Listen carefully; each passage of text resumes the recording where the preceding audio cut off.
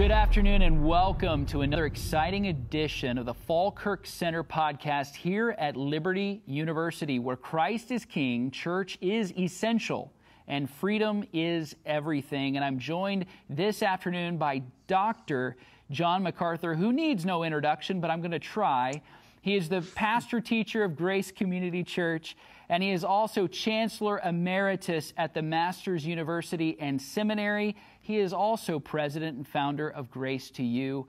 Pastor Johnny Mac, welcome to the Falkirk Center podcast. Thanks, Ryan. It's a delight to be with you. Well, we're, we're so honored. And uh, the first question I want to ask, because it's really, really important uh, at such a time as this have you had any fresca lately? Yeah, there's there's uh, stacks of Fresca piling up in my office. I had no idea when I made that comment how much it would activate people who wanted to do a kind deed. So, yeah, I've got a full, I've got a millennial supply of Fresca. Ah, that's wonderful. I didn't know if there was enough aluminum to go around, but that's that's great. Well, well, the good news might be that there's less beer being produced now that they're having to produce so much Fresca for me. That's great. That's wonderful. Well, can you give us an update, uh, Pastor, about what's happening currently at Grace Community Church right now? Just an update. Well, the people just started coming back. Um, back in March, well, nearly six months ago, when we heard millions were going to die, we did what any common sense people would do. We shut down, did live stream. The weeks went by and the weeks went by, and, and people began to not believe the narrative that there were going to be dead bodies in the streets and the medical profession was going to be overrun and the hospitals overrun with patients and uh, and they began to move a little around in the in in the world and in their spheres and they realized this was not at all what they had been told so the live stream was still going on, but they started showing up.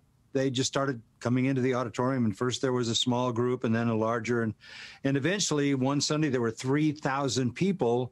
Uh, we hadn't said anything, but they just kept coming back, and uh, then it was six thousand, and I think last Sunday it was seven thousand, and we did what we could. We put up a tent so that we could be outside. Then we had seating in the patio with a big video screen. We tried that. They they jammed all that. They flowed into the family center and then they filled up the worship center. So we haven't told them to come. We haven't commanded them to come, but they're coming to church. And, and I think the thing that really altered everything was when they when they realized that the death rate was nothing like what they were going to think it was going to be and we basically are in California it's a 0.02 percent chance of dying from covid and that just did not square with fear. Mm. And the people came back. Um, people keep asking me, "Are you worried about people dying?" Uh, I said, "Look, I, I dying for a believer is the best thing that could possibly be uh, occur, but we're not we're not in the business of you know desiring that or making that happen. But the bottom line is, these are adults. They can decide the risk factor, and they they just don't believe the narrative because." Mm it's their experience that they're now mingling a whole lot more than they they were at the beginning, and they're not seeing. We don't know anybody in our church who's had COVID or who's been hospitalized with it. Wow, and and Pastor has. Uh, the president reached out. Has he responded? Have you had a conversation with him? Yes, as a matter of fact, um, not last Sunday, but the Sunday before, he called me after the Sunday morning service, and uh, he was very gracious and said, um, "I just want to thank you for taking a stand. Church is essential, and I'm I'm glad you're doing what you're doing." And then we talked a little bit about why, from certainly a biblical standpoint, Christians could not vote Democratic. Hmm. Because there's no way that a Christian can affirm the slaughter of babies mm. homosexual activity, homosexual marriage, or any kind of gross immorality, no way we could, you know, stand behind a candidate who was affirming transgender behavior, which of course is really the reprobate mind of Romans 1. So I, I said, these things aren't even political for us, uh, sir. I said, these things are biblical. These things are laid down by, by the word of God. And we love God. We desire to honor him and upholding righteousness in a society is what a church is supposed to do. So I said, any real, true believer is going to be on your side in this election because it's not just an individual, it's an entire set of policies that Christians cannot in any way affirm. You know, Pastor, I'm so thankful that you mentioned that uh, from a biblical, convictional standpoint.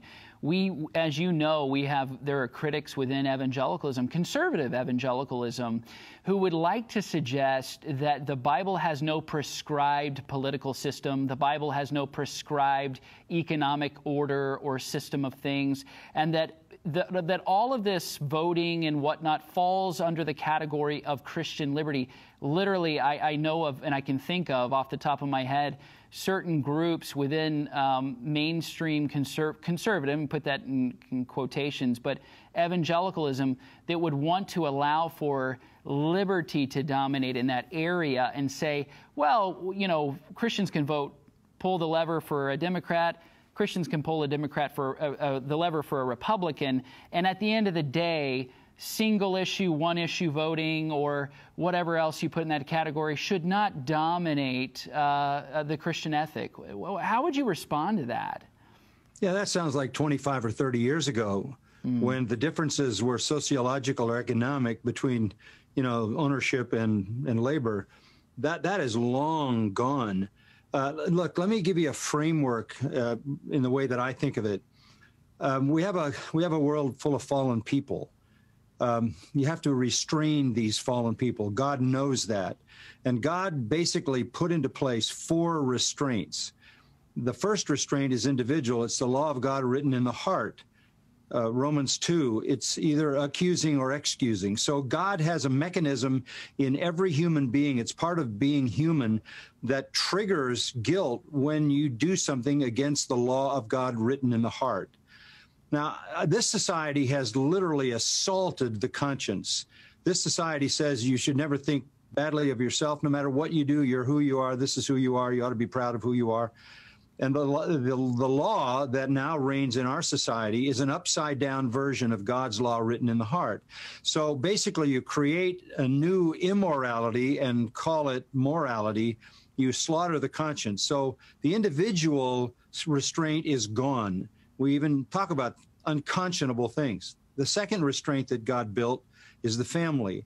And that restraint works through parents who raise their children with discipline and virtue.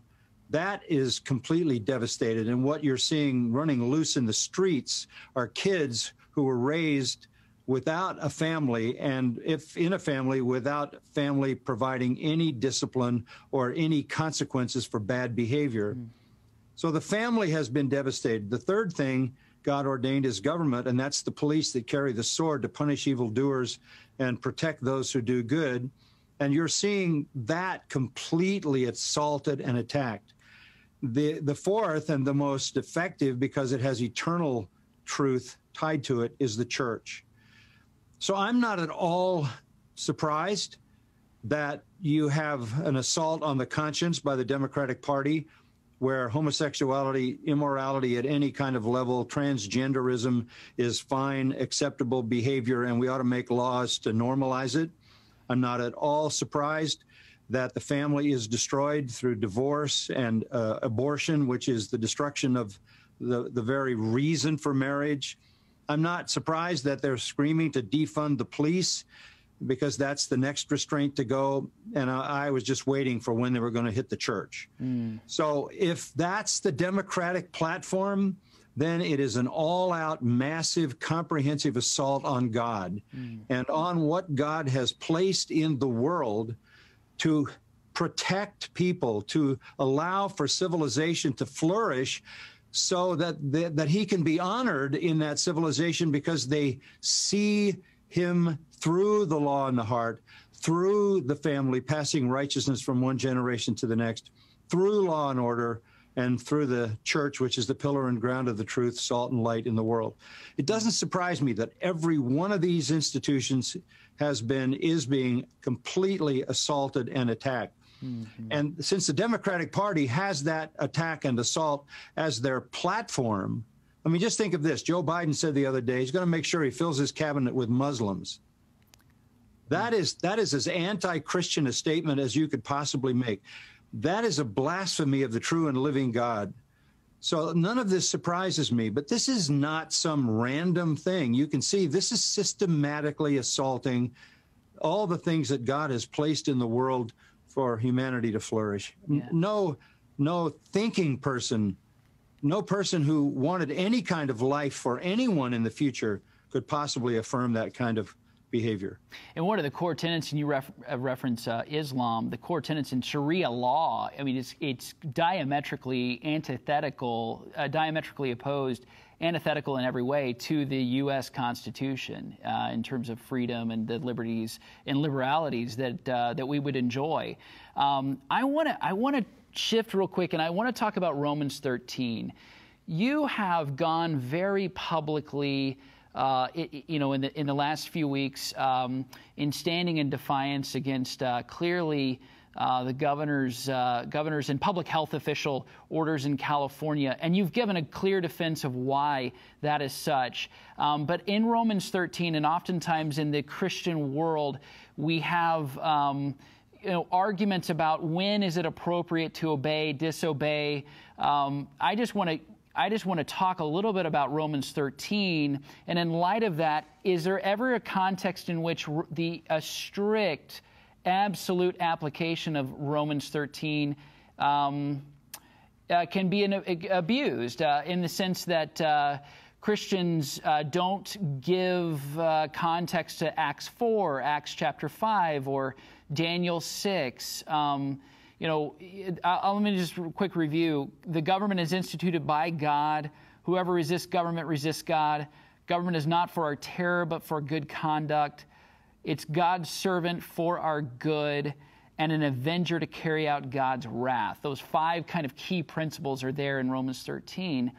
But when does that not apply? Well, it always applies in a temporal sense of law and order. And when it says that God has ordained government, it doesn't mean that every single leader is the best possible choice because he's in some way a representative of God. That's just not true. The God of this world is Satan, and he's ruling, and his demons are operating his evil system through the entire human uh, sphere. So we're not saying that every ruler is a servant of God. There's a sense in which God allows that. But the point of Romans 13 is government as a reality is essential to restrain sinners. If you don't restrain sinners, then the whole world becomes the Lord of the Flies, and everybody is just going to be killing everyone else. Uh, you know, this is what I've been saying about all this this outrageous behavior riding in the streets. People will do whatever you permit them to do if the restraints are off, that's what they'll do. So the government that Romans 13 is talking about is a restraining force. That's why they have a weapon in their hands, the sword. And the sword isn't to push you along, it's to it's to, to take your life. And that goes back to Genesis 9, right? Mm. And that goes back to the words of Jesus who said to Peter, Put your sword away. If you live by the sword, you die by the sword. And Jesus affirmed capital punishment. Uh, if you go back in the early part of the Old Testament, God ordained capital punishment for all kinds of things, including juvenile delinquency, because he knew the impact this would have on humanity in a very general sense. So, government has all the law and order power that God could give it to restrain temporal evil and to protect the people who do good. The problem is when government steps into the realm of the spiritual and begins to tell the church what it can or cannot do. And certainly the founding fathers of the United States got that. Really, for the first time in human history, they got that because up until the experiment we call America, all nations had blended their religion with their civic leadership. America was something brand new where the government and what people wanted to do with regard to their belief were completely separated. So even the founders of our nation understood that. That is why the Constitution doesn't give people the right to worship. They already had that. That's an unalienable right from God. The Constitution was designed to protect that right. And that's why it's so onerous for, say, the governor of California to shut down churches. And you say, well, wait a minute, he didn't shut you down. You can still go outside. They sent us an order that said this anybody who's outside in one of your events who is in the presence of another person who's not a family member for 15 minutes has to be quarantined for 14 days. We've got thousands of people. This is absurd. This is a complete and total shutdown. So uh, at that point, w- we said, look, you, have stepped over the, the line. Jesus Christ is Lord. Jesus Christ is the head of the church. And that's all we're saying. Uh, you know, Ryan, I should add this too. All last week, virtually every day, we had the training here, training here for the LA Police Department. We do that all the time, year after year. We've been partners with them because we're we believe in law and order. We believe they are Romans 13. They're the protectors of those who do good and punishers of those who do evil. And the police have been here with this church for decades since since since I came 51 years ago. So the city knows how we Police Department, we we help uh, feed them. We do barbecues for them. We help feed the people at the jail. Everybody knows that about Grace Church. They know we honor those who are in authority. But what's happened now is something that even confounds the police because we're being asked to do things that are not law. Right. So who's going to enforce that? Mm-hmm. Are, you, are you asking the police to come to this church and shut us down when we haven't broken a law? We have simply violated a mandate that the government gave or the health department randomly decided on that if two children, it said, are within six feet next to each other and they're from different families, they have to be quarantined for two weeks. Mm. I mean, this is this is absolutely insane. So we've we've done what we could. Some people wear masks, some don't. We have sanitizer. We try, but what happened when we saw people coming back? We didn't mandate it. They just started coming, and they just keep coming and keep coming, and they're filling up every square inch of this place. Uh, that's because they want to be here. They're they're making the decision that since in California, you have a 0.02 chance to die from COVID, 99.98 pretty good odds to go back to church. Yes, absolutely. And I love the fact that you bring up uh, police because even in the military and uh, with law enforcement, there is such a thing as unlawful orders, and that is. Uh, an order that might be given by an outranking superior officer that violates the Constitution. And so in the United States, the Constitution is the rule of law, that no one stands above it. Uh, and so even even somebody who's a sergeant can't say to a private, hey, uh, open fire on a civilian population. It, it, it's just not lawful. They can't just do that, right?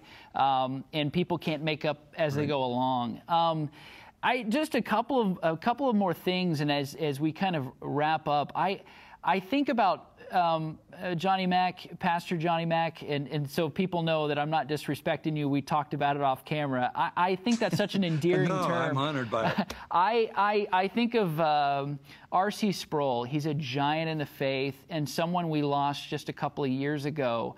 Um, and, uh, you know, what would he be thinking, your old friend, what would he be thinking right now in this particular moment? How do you think he would be responding? Well, I have to say, I know how he would be responding because his wife has told me how he would be responding if he were here. Yeah.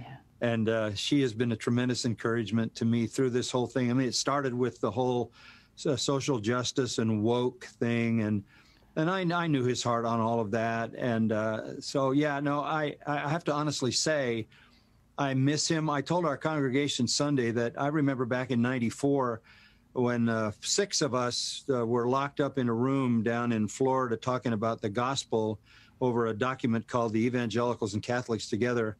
And um, it was Bill Bright and it was um, Chuck Colson and it was J.I. Packer, myself, R.C. Sproul, and D. James Kennedy. And I told the people Sunday, I'm the last man standing. Packer died uh, two weeks ago and uh, that that's a different generation with a mm-hmm. completely different perspective. I, I miss RC.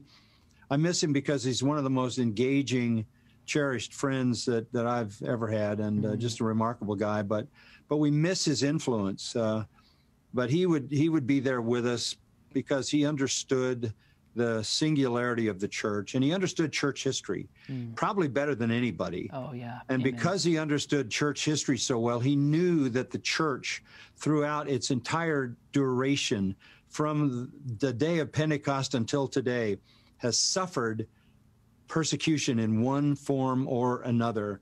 And we have always honored the martyrs. We have always honored the underground church, the believers who met when it was against the law.